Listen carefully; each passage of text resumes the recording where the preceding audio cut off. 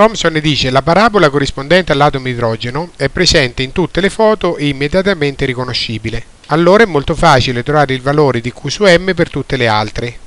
Ricordando che gli ioni idrogeno hanno il massimo rapporto Q su M, individua la parabola degli ioni idrogeno, scegli poi un'altra parabola delle foto e determina il rapporto Q su M relativo a questa parabola.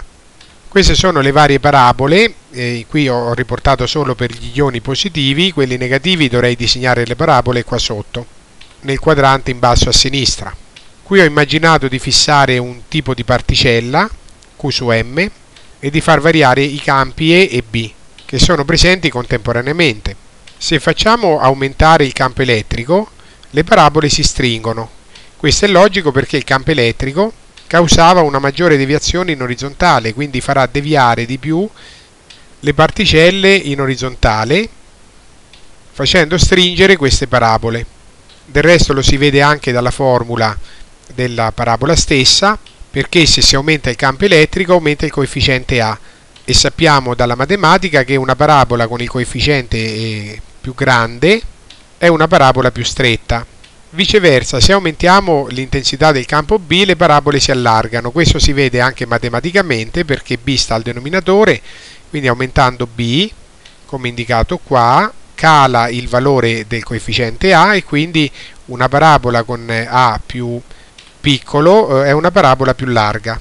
Ma questo è anche logico perché B, se si intensifica, crea delle deflessioni verticali più ampie, quindi la parabola si allarga in verticale grazie a queste maggiori deflessioni verticali, cioè queste deviazioni verticali qua. Tuttavia l'esercizio non parlava di campi variabili, ma di campi fissati e di far variare invece le particelle. Quindi adesso fissiamo i campi, scegliamo una particella, dovrei dire un rapporto Q su M però in pratica vuol dire fissiamo so, ioni di un certo tipo di particelle, tipo ioni H+, e vediamo che succede a queste parabole se si allargano o si stringono in base al valore Q su M. Matematicamente Q su M sta al denominatore del coefficiente A, quindi se Q su M cresce cala il coefficiente e la parabola si allarga, se Q su M cala invece eh, il coefficiente cresce e la parabola si stringe. Siccome l'idrogeno, gli ioni idrogeno sono quelli che hanno il massimo rapporto Q su M rispetto a tutte le altre particelle, allora Q su M è il valore massimo e quindi la parabola è quella più larga di tutti.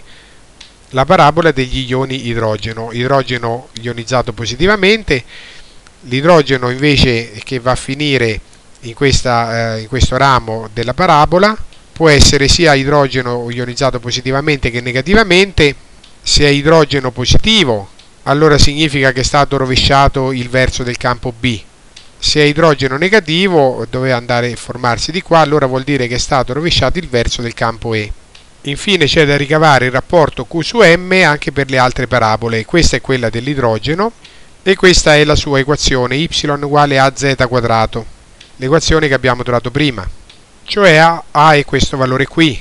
Siccome A è, in, è, è inversamente proporzionale al rapporto Q su M, per conoscere il valore di Q su M di queste altre parabole, cioè di queste altre particelle, rispetto al valore Q su M dell'idrogeno, basta fare il rapporto inverso de, delle aperture delle parabole, cioè di, del coefficiente A, come indicato qui.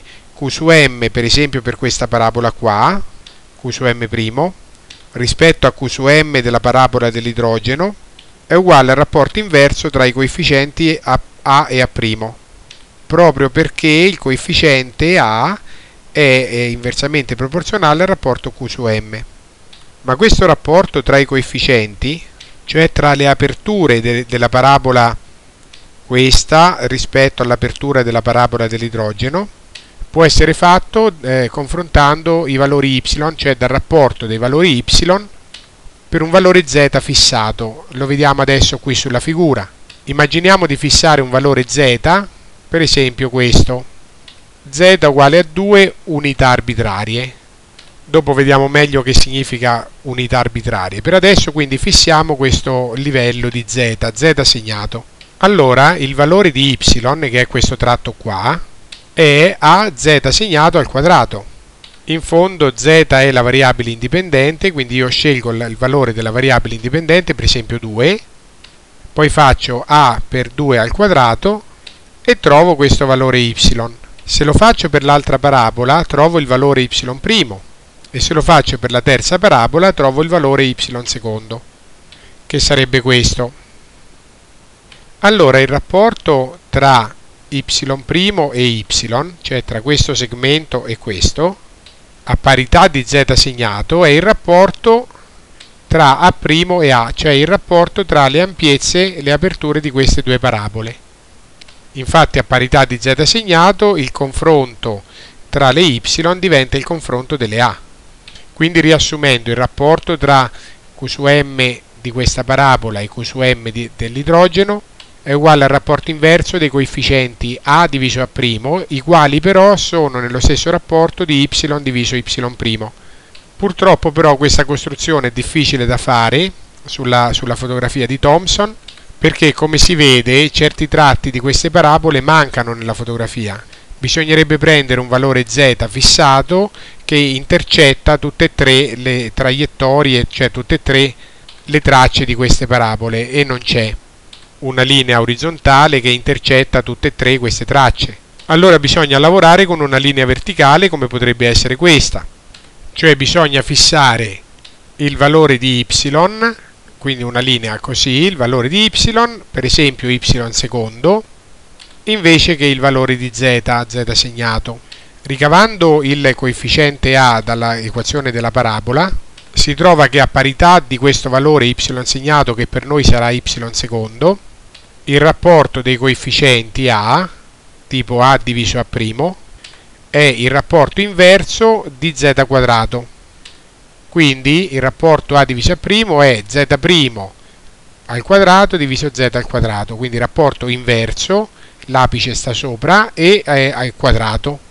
Certo con le y sarebbe stato più facile, con le z è un po' più complicato, però è possibile trovare una linea verticale, per esempio questa che passa qui, che intercetta tutte e tre queste tracce di parabole. Allora, misurando in unità arbitrarie i punti dove questa linea verticale intercetta le tre parabole, si trova 2, 5,6 e 8,5 io ho eseguito la misura prendendo questo valore fissato di y, questo qua, e misurando il valore di z, che è risultato 8,5 cm, poi z', questo, 5,6 cm, e z secondo 2 cm. Eccolo. Quindi il rapporto z' su z sarebbe 5,6 diviso 8,5 al quadrato fa 0,43 e questo è il rapporto tra carica massa delle particelle che arrivano qua rispetto al rapporto carica massa delle particelle dell'idrogeno.